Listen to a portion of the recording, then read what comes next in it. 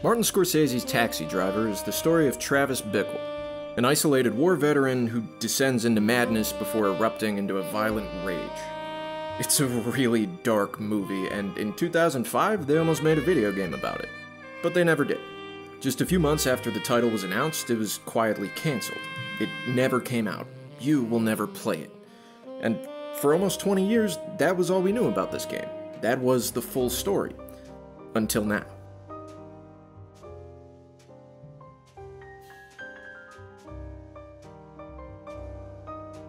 This story begins 10 years after the film's release, way back in 1986, when investment banker and electronics distributor Morris Sutton founded Majesco Sales Incorporated in New Jersey with his sons. Far removed from the industry's beating heart on the West Coast, Sutton was not a gamer, or even like a tech guy.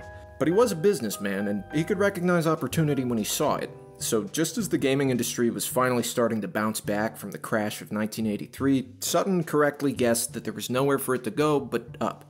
Now, Majesco didn't have the skills or the resources to be a cutting edge publisher at this time, so instead the company made its bones in the 80s and 90s by reissuing old handheld titles that had long since been abandoned by their original publishers. By securing exclusive deals to publish Sega and Nintendo's back catalogs, Majesco carved out a comfortable little niche catering to the kids who were still playing on last gen systems. Sutton summed up his business model in Nintendo saying, quote, just give me the code and I'll give you a royalty. It was a low risk, low reward strategy, but eventually it paid off, and by the end of the 90s, Majesco was able to make the jump to current generation publishing. In 97, they put out a slate of titles for the then new Game Boy Color, including Monopoly, Frogger, Battleship, and Pong. And while obviously these still weren't original products, they were reliable sellers, and by the time the Game Boy Advance dropped in 2001, Majesco quickly became its largest third party supporter, churning out eight licensed titles within a year of the system's release. So it's the early 2000s, and the company is now a major player in handheld publishing, and while this would remain its bread and butter, Majesco was already preparing to make a bid for gaming's top tier, premium AAA console publishing. Their first attempt was 2002's BloodRayne, an action-adventure title developed by Terminal Reality. BloodRayne was pretty derivative. It took its aesthetic cues from games like Wolfenstein, and its gameplay was your typical hack and slash stuff, it wasn't bad, but it wasn't terribly original either. It was exactly the sort of thing you'd expect Majesco to publish, because remember, these guys weren't creative visionaries or even gamers themselves, they were businessmen. And businessmen generally don't want to take big risks, but they do generally want to expand, right? And so in 2003, Majesco merged with a failed company called ConnectivCorp, which allowed them to be publicly traded on Wall Street for the first time. Now, they'd hoped that this would finally give them a shot at the credibility and the capital they need to make it in premium gaming, but having the financial tools to secure investment is not the same thing as actually having investors, and up to that point, Majesco just didn't have the track record to raise that kind of money. You can put Monopoly on the Game Boy, and you can put out a generic slasher title, but that is not enough to get people to actually open their wallets for you. The console publishing world was a crowded place in these days, and Majesco needed something new and something original to show that they even had the business acumen to make it in the big leagues. But the funny thing about being a bottom feeder, the funny thing about building your business on yesterday's hardware is that eventually you learn to spot opportunity where nobody else can see it. TV shows on the go, TV shows on the go. It's GBA in early 2004, just as the Game Boy Advance was nearing the end of its lifespan, Majesco had figured out how to put up to 45 minutes of video with sound on a standard GBA cartridge. And I know it sounds funny now, but at the time, this felt like revolutionary technology. You could watch SpongeBob in the car. It was unheard of. And pretty much overnight, the company had created a new use and a new market for the Game Boy Advance. So naturally, within just a few months of putting GBA video on store shelves, Majesco's profits had literally quadrupled. These things were printing money, which was just the push the company needed to turn heads and raise capital for its move into primetime AAA publishing. You can also tell they were really feeling themselves at this point because they changed their stock ticker symbol from MJSE to cool, which is kind of stupid, but whatever. So they had the means, they had the motive, and now Majesco was searching for opportunities to break into premium publishing. But again, this is not a company of California, Silicon Valley, self styled visionary types. These guys are East Coast money men.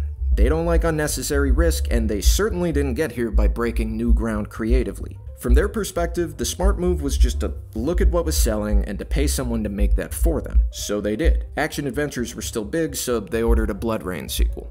Sci-fi shooters were doing well, so they made Advent Rising. People still like platformers, so they published Psychonauts on consoles. By always hedging their bets, by always following in someone else's footsteps, the company hoped to earn a place in gaming's top tier. And in 2005, nobody had bigger footprints than Rockstar. If Majesco wanted to compete, then they were going to need a Grand Theft Auto clone. And if the popular way to make one was to license a classic crime movie, then they were going to do that too. So by 2004, Majesco was shopping around for a studio to develop their GTA knockoff. They were taking pitches from just about every developer that was interested when they sat down for a meeting with Papaya Studio. Based in Southern California, Papaya was a relatively new startup founded by three young, up and coming developers. They didn't have much capital, but they had experience, they had contacts in the industry, and they had an actual passion for gaming. You know, pretty much the complete opposite of Majesco. While the Papaya team wasn't totally new to the business, they didn't have much of a portfolio at this point as a company. They'd previously made low budget titles, including a racing game called Top Gear, a scooter game called World Tour, and well, that's it. Nothing else. But in the pitch meeting, Papaya showed Majesco a demo that really caught their eye, that something called Outlaw Taxi. Now this game was apparently really early in the development process, and there aren't many available details. Like we know the player character would have been a cab driver, and we know that he would have had superpowers, but that's pretty much it. The rest has been lost to time. But for whatever reason, Majesco decided it was exactly what they needed, and they signed a deal with Papaya to turn Outlaw Taxi into a GTA clone based on Martin Scorsese's Taxi Driver. In a 2009 interview, interview, executive producer Dan Kitchen explained, quote, We picked up the game from Papaya and invested approximately $2.5 million into the title. Once the game was signed, I immediately reached out to Mark Kaplan at Sony Pictures to secure the rights to the film license. I negotiated a deal and Majesco signed the licensing, making the game an officially licensed taxi driver game. It's pretty obvious why they wanted to license a classic crime movie for their GTA clone, because everybody else was doing it. Between EA's Godfather adaptation and Vivendi's Scarface, Majesco seemed to be in good company. But but we don't know when or why or how they settled on Taxi Driver as their IP of choice. That's probably something we could only learn from the actual decision makers at Majesco, and none of them have responded to any of my requests for comment over the last year. But there's a few possibilities that I think are most likely. For one, maybe the suits at Majesco had just never seen the movie. Like, if you know nothing about Taxi Driver, it kinda sorta feels like it falls into the same category as these other films, right? It was made by Scorsese, who also did Goodfellas, and it starred Robert De Niro. If that's literally all you know about it, you would probably guess that it was about organized crime, even though it really, really isn't. Another possibility is that it wasn't originally Majesco's idea at all. We know for a fact that with The Godfather, it was Paramount Pictures who asked EA to turn it into a game, not the other way around. Maybe Sony was trying to get in on the adaptation craze and had already been in talks with Majesco before the meeting at Papaya, I don't know, who's to say? Whatever the case, a deal was made, and under the direction of Majesco, the Papaya team got to work turning Outlaw Taxi into Taxi Driver. The basic premise of the story was that the game would serve as a sequel to the movie, that it would begin just after the events of the movie had finished, but more on that to come, I promise. For the actual script, Majesco hired a team of quote unquote Hollywood writers to draft a story outline, but there were pretty immediate and obvious problems with the work they turned in. It was a mess.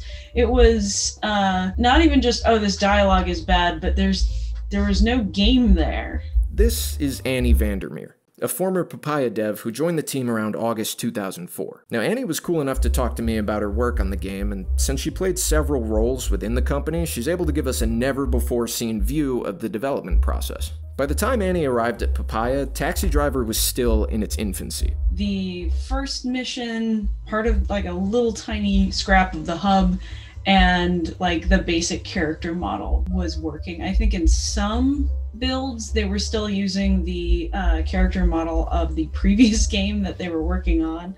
But even with so much work ahead of them, Annie said the team at Papaya was hopeful in these early days that the game could come together as something that wasn't terrible. I kind of had a, a, a long sit at the beginning of it to be like, okay, this is rocky ground, but I think there's a way we can make this work. I think there were points when the team was actually kind of excited about it. Still, Majesco's direction on the project was less than helpful, and the Papaya team found itself mostly unable to implement its publisher's demands as development wore on through early 2005. Dealing with Majesco was not an easy thing. I can't be diplomatic about it. It was pretty awful. But the process moved pretty quickly, and by May, in the run up to E3, Taxi Driver was announced to the world. Now, the announcement itself was pretty scant. The official word from Majesco is that the game would be a sequel to the movie, and that it would feature an open world with shooting and driving focused gameplay. They also included these infamous screen caps, which even now are some of the only images of the game that have ever seen the light of day. But almost immediately, the announcement was met with skepticism and real anger from critics in the media. See, while some noted the game as the inevitable consequence of Majesco's ambition, and of the rise of the classic movie game, most media coverage mocked the idea from the jump. The game's would be peers like The Godfather and Scarface had dealt with some pushback at their announcements, but this adaptation in particular struck the media as a bridge too far.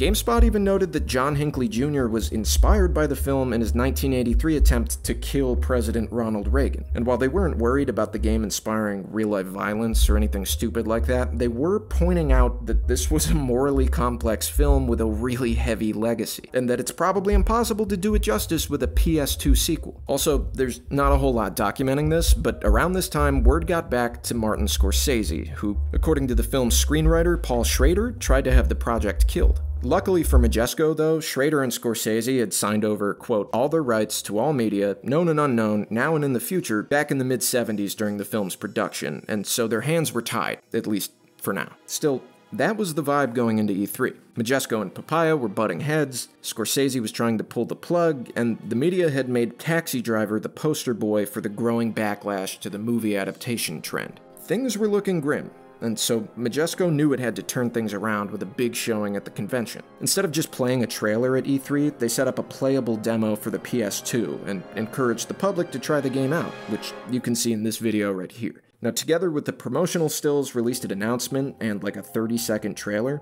these three ish minutes of gameplay are all that we would ever see of this game. Until now. See, Annie was cool enough to share her notes from development with me, which gives us the first ever look at what this title was actually going to be.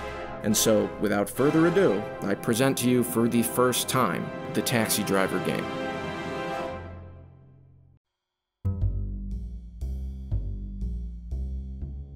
So the game would have opened with a tutorial mission set during the shootout at the end of the movie where Travis kills Iris's pimp and everyone else who gets in his way. There are definitely two screenshots of this mission, and probably three, but this last one I'm not so sure about. Flash forward to two months later, and Travis is now dating Betsy. That's the woman who he creeped out in the movie and then sees again at the end. Mission 2 begins with Travis driving to her place for a date, but when he arrives, he finds out that Betsy's been kidnapped.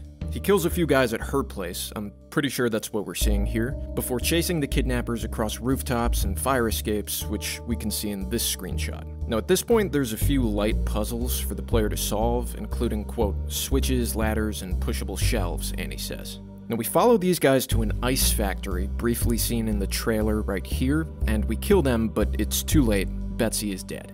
After this mission, we would have been thrown into the game's open world, which we'll get into later. Mission 3 begins with Travis trying to figure out what just happened. You know, who killed Betsy and why. He goes to her workplace at the campaign office of Charles Palantine, that's the presidential candidate from the movie that Travis tried to assassinate.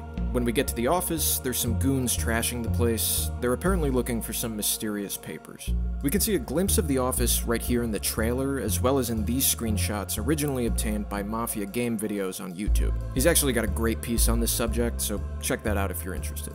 After that, Travis chases the thugs to another location, which was originally supposed to be a warehouse where we would apparently drive around in a forklift. You can see that in this screenshot right here. There's a couple other kind of industrial looking screenshots that might show this part of the game, but you know, it's, it's hard to say for sure. Now, the warehouse was later changed to sewers because, as Annie says, quote, it was the 2000s and how dare anyone not have a sewer level. I'm pretty sure that's what we're seeing right here. Sometime in or around this mission, we would have met two new story characters. There's Frank Danton, a shady mob boss type who offers Travis a job, which he declines. And then there's Constance, a prostitute who works for Danton. Now, it's not really clear when or how we learned this, but it turns out Danton is conspiring with Palantine to rig the election. The pair had Constance seduce Palantine's opponent and then took pictures of them to blackmail him. You still with me? So mission four sees Travis go to a pawn shop to drop something off. Uh, we don't know what it is, so it probably doesn't really matter.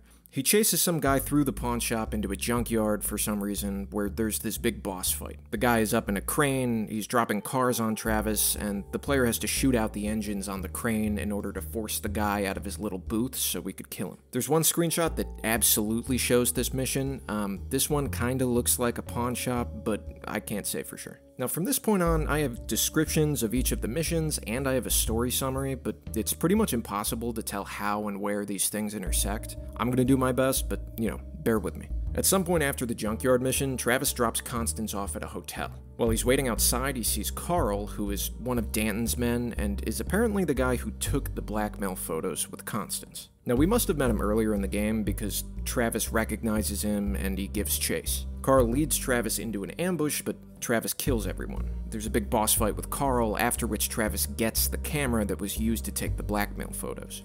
So he takes the camera to go get the pictures developed by Easy Andy. Uh, that's the excitable little manlet who sells him the guns in the movie. At this point, Travis sees the blackmail photos of Constance and Palantine's opponent, and presumably he kinda works out what's going on with all that, but he still doesn't know exactly how Betsy was involved. After that, Travis tries to go meet Danton again, you know, to ask him about the pictures and stuff, but he's stopped by a henchman, uh, some woman named Bittersweet. Bittersweet's guys start a fight with Travis, but of course he kills them. That brings us to mission 5, which was going to be a shootout at a nightclub. Now, is this where Travis chased Carl to and got the camera? Is this where he gets in a fight with Bittersweet's guys? I have no idea. Your guess is as good as mine is. At any rate, this mission is by far the most well documented part of the game. There's like three to five uninterrupted minutes of gameplay in this nightclub that were recorded at E3, but there's not really anything in this footage to show what's happening in the story or why we're here. Sometime after that, Travis goes home and he calls up Easy Andy again to get the pictures that were on the camera. They arrange a meeting at a warehouse, but of course it's a setup. Andy has betrayed Travis, explaining that Danton is a big customer of his. Now, there's a boss fight against an assassin named Ten, but apparently we don't kill him because he, he comes back later on. After this, Travis goes to try to see Constance again, but he's overpowered by her pimp, uh, some guy named Ray Ray and he leaves. This looks like it might be a brothel right here, so maybe this screenshot is from this mission, but I, I couldn't tell you. But by this point, Travis is starting to suspect that Danton was involved with Betsy's murder, and he's, quote, going nuts for revenge, according to Annie. With no one else to turn to, he seeks advice from the wizard, his co-worker at the taxi depot, just like in the movie. Get it? Now, we don't know what kind of advice the wizard gave him or how this conversation went, so hopefully it's not very important to the plot. In Mission 6, Travis would have gone to a um, adult theater and killed the owner, who was apparently also working for Danton. There's a couple of seconds that definitely show this mission in the trailer, as well as some screenshots courtesy of Mafia game videos, and this little clip appears to show like a film set with a bed, so I think this might be from the same mission. Later, Travis goes back to the pawn shop from Mission 4. I guess he's picking back up whatever we dropped off. When he's there, he sees something that belongs to Betsy, and somehow that's enough for him to confirm that Betsy was killed by Danton's assassin, Ten. He also gets into a boss fight with the pawn shop owner, who I guess is a different guy than the one we killed last time we were here. In Mission 7, Travis would have returned to the taxi depot to see the wizard again, but he's been killed by Ten, the assassin. There's an ambush, but Travis escapes through the subway tunnels, as we can see in the trailer right here. He also figures out that Ten is going to kill Constance, presumably to wrap up all the loose ends in the blackmail scheme. So we go to the brothel to save her, and we kill Ray Ray the pimp, and finally kill Ten. Now this is probably mission 8, but there's nothing in Annie's notes on that one, so I don't know for sure. After rescuing Constance, Travis gives her money to get out of town and prepares for a final showdown with Danton. Now, Mission 9 was going to be a fight in a cemetery, but there aren't any known screenshots or clips of this one, and I'm not really sure where it fits into the story. But it would have brought us to the final mission, where Travis confronts Danton, Easy Andy, and Palantine in a big boss fight that involves a helicopter and would have been in a penthouse at a fancy hotel. As far as I know, there's no clips or screenshots from this mission either, but in the end, Travis kills Danton and the others, but he gets really shot up in the process. The story was to end with Travis bleeding out in a gutter. As he smiles, looking up to the sky, dying, Constance walks by, visibly high on drugs, with her arm around some guy. She kept the money, she didn't leave town, and she's back on the streets.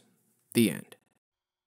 Now that's very confusing, and a lot of things aren't really explained, but Presumably, it would have made a little more sense in the final version of the game. It seems like Betsy found out about the blackmail plot while she was working on the campaign. I guess she was gonna blow the whistle on the whole thing, which is why Danton had her kidnapped and killed, but since we're working with incomplete notes from development, everything else is anyone's guess.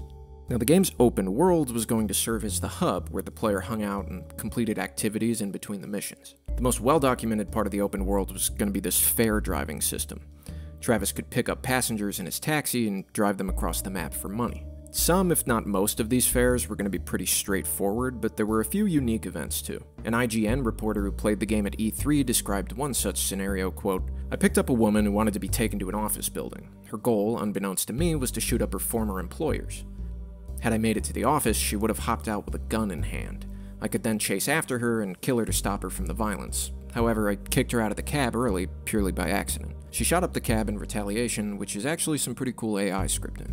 Annie shed some more light on this system through her notes, telling me, quote, the passenger events thing was real, and it was interesting, but it took an awful lot of content, and things tended to repeat quite a bit. Story and system constraints kind of made it difficult to make a lot. You had people who would just want to go to a point, some who would and then would leap out of the car without paying, and you could beat them up to get your fare, ones who would threaten to shoot you if you didn't take them where they wanted, some who would say they were going to kill someone, and if you didn't stop them where you left them, they would, some who would ask to chase a car, etc. It was difficult to get super into it because your fares weren't big and you ended up doing a lot of the same events repeatedly. I know some people who played the game a while would just beat up anyone who they dropped off because then they'd get the money either way. Notably, you could not steal cars. You were stuck with Travis's taxi, and Annie says she doesn't remember there being any street races or anything like that. She told me, quote, as for source material obligations, it actually made the open world conceit really hard to deal with. Think about how often you steal cars in Grand Theft Auto and how necessary it becomes to getting around in the world, or even just collecting new ones. Now you just have a cab. You can only drive that cab. The end. Much less freedom, and we struggled to make it interesting. We know about a few other activities aside from driving the taxi. Like, there's some clips in the trailer that appear to show a shooting range, and since this doesn't come up in the story synopsis, we could probably assume that it was another open world activity. We also know that the open world was going to feature an arcade where you could actually play mini games. Annie explained, quote, There was an arcade put in because Majesco had the rights to some very old games but also our programmers and designers got a chance to make neat little games for it as well. Some were really nifty little mini games, as I recall, mostly done by character model and developer Dan Doptis and fellow developer and future Discord CEO Jason Citron. But other than these two activities, and presumably health and ammo, it's not really clear how you would have spent the money that you earned from completing fares. Weirdly, there were probably no police in the game, Annie doesn't mention any in her notes, and the IGN reporter who played the demo at E3 said he didn't see any either. Instead, if the player shoots or runs over too many civilians, the screen blurs until Travis passes out and you're forced back to your last checkpoint, in a mechanic that was meant to simulate the character's sanity. Annie writes, quote, It's true that you'd eventually black out if you ran over too many civilians, a few here and there with some time between, because the game was forgiving and because the car control wasn't really great. This did act as a decent conceptual safeguard, not just because we couldn't get civilians lunging perfectly out of the way like in Crazy Taxi, but because that would look super ridiculous. Now, according to Mafia game videos, the map would have only included Lower Manhattan and was set to include Union Square, Chelsea, the Meatpacking District, Chinatown, and Little Italy. Majesco had apparently tried pushing the team at Papaya to include more than one open world hub for the player to explore. Presumably, this would have included the city's other boroughs, but Annie says that discussions came down to why and also how. Reporters who played the game at E3 noted that the streets felt kind of empty. Maybe this would have been tweaked before release, but as Annie says, there was a concern about making it too hard to avoid hitting pedestrians, so maybe it was going to stay this way. Who knows?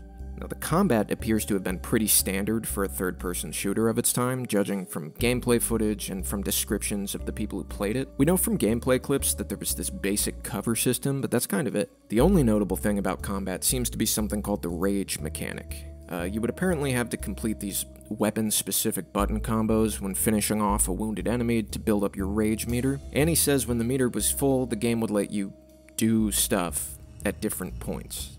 I think it was just powerful attacks, I genuinely can't remember what they were. From the gameplay footage, it looks like you just do these little animated finishing moves. It's kinda cool, I guess. These screenshots from the MGV video look like they might have come from the combat tutorial where the player is first introduced to this system, but I don't know. In terms of weaponry, early promotional material mentioned that Travis could acquire a Colt 25, a 44 Magnum, a MAC 10, a shotgun, and an M16. There's an Uzi and an AK 47 that are also visible in some of the screenshots, and Travis can even be seen dual wielding in the gameplay footage, which is actually pretty cool for a GTA clone of that time. We also know from E3 reports that Travis moved more slowly when he had a bigger weapon equipped, which is a neat little detail. Games like this often had pretty boring combat, so it's kinda interesting to see the Papaya team was making the effort to keep things lively. Annie told me, quote, There was a sense of progression with the weapons. In the first mission, you just had a 22 and a knife. Second mission, you would get a 38 snub nose.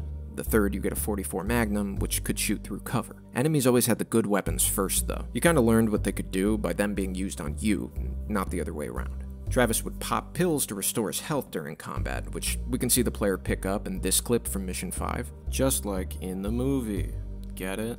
There were probably no character customization options, even though we can see Travis sporting different haircuts in these different screenshots. For one, he's wearing the same outfit in every image, and two, it turns out that the Mohawk Travis that we see was actually an early character model that was based on Robert De Niro's likeness. But after the complaint from Scorsese, and after months had gone by without Majesco actually securing the rights from De Niro, the Papaya team replaced that model with a placeholder based on developer Dan Doptis, which is what we're seeing in this E3 footage, and I'm pretty sure what we're seeing in the MGV screenshots. We actually get a couple of glimpses of the character model's face, and while it's pretty clearly not De Niro, it doesn't look totally out of place. As for the music, Annie can't quite remember if the actual movie score was going to be in the game or if they were just going to do something like that. But press releases from May 2005 mention a 70s themed soundtrack, which to me sounds like they couldn't actually get the rights to the film's music. And that's pretty much it. Now, I know it's tempting to view all these new story and gameplay details as a further indictment of the game. Like, it still obviously totally misses the point of the film to an almost obscene degree.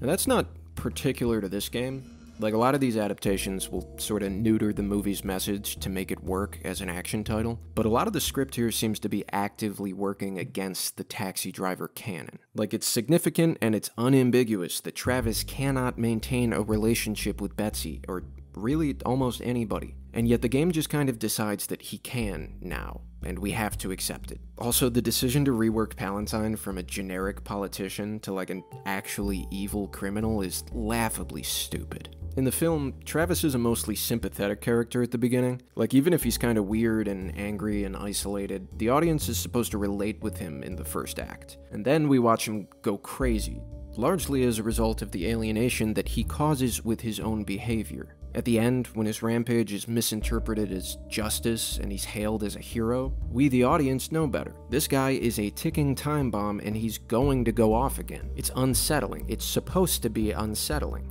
But the game straight up just doesn't acknowledge that nuance. It assumes that Travis is and was a hero for what he did, and we're just supposed to go along with it. We're just supposed to agree that he could be a normal guy with a normal life and a normal relationship, and that doesn't sit right. Now, I understand the reason why this game would have been so different from the movie. It's the same reason why they decided to make it a sequel instead of like a real adaptation. Because what's interesting about Travis Bickle is his interior life and the way that he misinterprets his exterior world. That's just not a great subject for a third person shooter. I understand that. You should be able to take some liberties when you're adapting a drama into a video game. I get it. But the script doesn't just tinker with the canon to make things work, it actively undermines the source material for its own ends, and I don't know if I could look past that. I think the first rule of a video game adaptation ought to be do no harm, and this game 100% fails the test. But if I'm being fair, there are things in here that display some sensitivity, or at least some awareness of the film by the Papaya team. Like the cab fare side missions where you drive around these homicidal freaks is pretty true to the movie, and the fact that the game would let you impart Travis's own twisted brand of justice by killing them is kind of the same realization that he comes to in the film, even if it presents that vigilantism totally uncritically. I also really like the way the game straight up doesn't allow you to go on killing sprees. The Scarface game does something similar, also in the name of preserving the character's essential nature, but that game hadn't come out yet when Papaya was making this. By preventing you from just indiscriminately killing people, the game was taking away one of the pillars of the GTA genre, all in service of the source material. That was a bold choice, and to me it shows the Papaya team did its best to do right by the movie, given the situation they were put in. Even the game's story shows some effort to preserve the feel of Taxi Driver. Like, yes, it's ridiculous that this high stakes thriller with political intrigue and gangland massacres is supposed to be a sequel to the slow burn character study of the film, but it kinda seems like it's pushed along by Travis's misguided sense of serving justice, of cleaning the scum off the streets or whatever. Even if the game uncritically shows Travis's rage and his violence as being righteous, there's a patina of self awareness to this story that is only really visible now that we know a little bit more about it, and I think that's worth mentioning when we talk about this game. Like, the story ends with Travis having failed to save Constance, right? She didn't leave town, she kept the money, and she's back on the streets. It's clumsy and it's ham fisted, and it's a terrible IP to make into a video game, but there is a futility to it all that kinda shows an understanding of Travis Bickle as a tragic character, even if it makes him out to be an uncomplicated hero. If it came out, I don't think this game would have been as fondly remembered as The Godfather or Scarface. I don't even know if it'd be remembered at all. In fact, I think the only reason it's so infamous now is because we never got to see what Majesco and Papaya had in mind. People heard Taxi Driver video game and they expected a full on shot for shot playthrough of the movie. Instead, we would have gotten something totally different. Is it bad? Yeah, it is. But for whatever it's worth, this game was not as bad as it sounded like it was gonna be.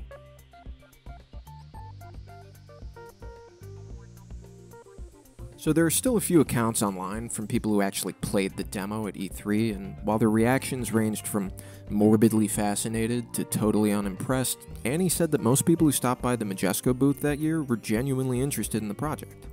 Even some media outlets seemed willing to give the game a chance after they saw the demo. IGN said the build had the makings of a decent action title, and GameSpot praised the mechanics as solid. Most were surprised to see a playable version on display less than two weeks after announcement, and everybody seemed interested in finding out more as development wore on, but unfortunately that would never happen. After E3, the looming problems surrounding production were starting to come to a head.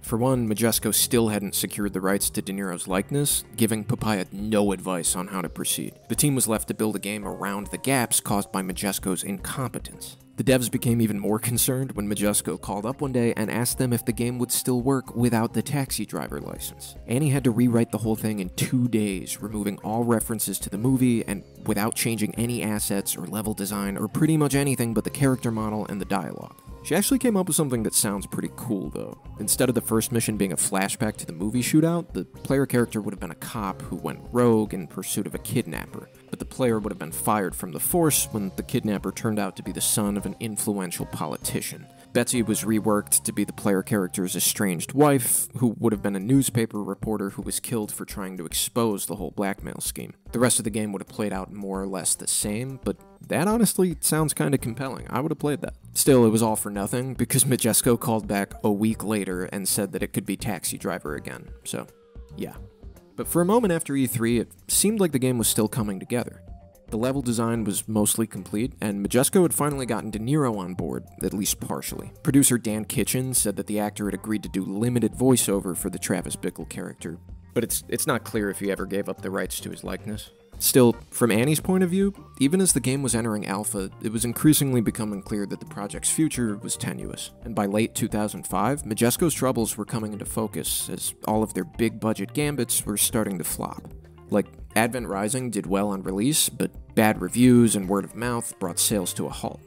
Psychonauts did well with critics, but it ended up as more of a niche title, failing to find the mass audience that Majesco needed it to in order to stay afloat. But the death knell didn't come until June 29th, when financial analysts issued a report calling the company vastly overvalued, citing a clear failure to meet sales expectations. Majesco's stock tumbled by 15% in a single week, but that was only the beginning. On July 11th, the company adjusted its expected yearly earnings from $18 million of profits to a $19 million loss. Their CEO was forced to resign, and the company stock was selling for $3.44 a share, which was half of what it had been trading for at the beginning of the summer. Later that same week, Majesco's shareholders filed a class action lawsuit alleging that the company, quote, recklessly disregarded that their strong growth was unsustainable.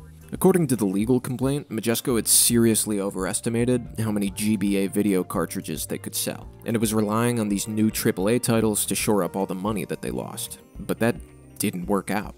And by the fall, Majesco was expecting to lose $45 million for the year. Without referencing any specific titles, the company blamed its worsening outlook on the transition to the seventh generation of consoles, which, to be fair, was wreaking havoc across the industry. In September, co founder Jesse Sutton announced that the company's bid for mainstream success had failed as Majesco was forced into survival mode. He told shareholders, quote, Our strategy now includes pursuing low-risk opportunities in the mobile and online markets. And so the company began its long retreat from premium publishing. In so many words, the dream was dead. Financial analyst Michael Pachter probably said it best. They aren't in the big leagues. They're back in the minors now. The company scrambled for money over the next few months, laying off 20% of their staff and selling everything they owned. The situation was so desperate that Majesco started churning out cheap BloodRayne merch just to shore up some revenue. The games they still had under development were either sold off to other publishers like Ghost Rider, or they were hastily shipped out the door if they were close enough to completion like Jaws. But what about Taxi Driver? The game had entered alpha by this time, and by all accounts it was mostly finished. Why didn't they release this game just to make a quick buck when they needed it? Well, for one, Majesco probably just didn't have the money left to pay the team at Papaya, who had also been counting on this game to keep themselves in business. Papaya was forced to make cuts after getting stiffed by their publisher, and Annie was let go around this time. But the main reason seems to be that they were blackmailed out of it by Martin Scorsese himself. Allegedly. Scorsese, of course, had signed away his rights to the movie in the 70s, but he still had a lot of clout in Hollywood, and according to producer Dan Kitchen, that's what finally killed the game. Kitchen said that Sony told him, quote, We received a call from Marty Scorsese today. He's very unhappy with the licensing deal for Taxi Driver. He doesn't want the film to be made into a video game, and if you continue with the game, he'll make sure you never license another title in Hollywood. Kitchen said he hung up the phone and went straight into the office of Jesse Sutton, Majesco's president, and said, quote, Marty doesn't want us to release Taxi Driver. We have to cancel it today. Now, I reached out to Dan to hear more about his call with Sony, but he never got back to me to confirm the details. In any case, Majesco quietly pulled the plug on Taxi Driver in October 2005 and shifted their focus to just avoiding bankruptcy. But they still couldn't pay Papaya, who sued them for breach of contract within the next month. In the end, Majesco used the old divide and conquer strategy to get out of paying the devs the full amount, though. Instead of giving Papaya the $2 million they owed, they offered to give about half a million dollars directly to company president Lin Shen. She took the deal, and her co founders left Papaya not long after. After the failures of 2005, Majesco would recover somewhat, but it never achieved its former glory. The company found some success making budget titles for more casual audiences, most notably the Cooking Mama series, and they invested heavily in so called social gaming. That's like Facebook games like Farmville. But it was never enough to put the company back on solid footing, and by the mid 2010s, Majesco was being scrapped and sold for parts. The final blow came in 2016 when a biotech firm purchased the company for its NASDAQ listing, just like Majesco had done to ConnectivCorp more than a decade before. Reportedly, the buyer was mostly interested in acquiring the company's stock ticker symbol, COOL. That would have been the end, but in 2017, Jesse Sutton bought back the Majesco name and started publishing games again. He quickly sold the brand to some Canadian media conglomerate called LMG, and Majesco today remains a wholly owned subsidiary. They've got a few crappy, low budget titles for sale on Steam right now, but that's pretty much it.